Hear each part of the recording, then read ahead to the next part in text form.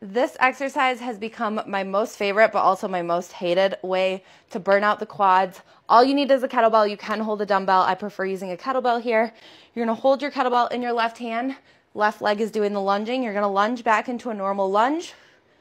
Then you're gonna pop up, but not all the way up. Pop up to where you still have some tension. Bend in that front knee. Bring your foot close, and you're dropping into a closer lunge.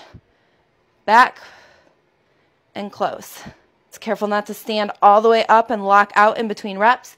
That's where we're really going to get that burn, that time under tension, because it is under tension the entire time. Core is braced, back is flat. We're not doing any rounding, not doing any slumping in the shoulders. Everything is set up and back.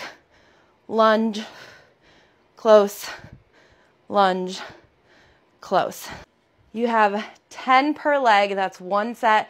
Rest 30 to 60 seconds, enough to where you feel like you can make it through the entire 10 reps the second and third time.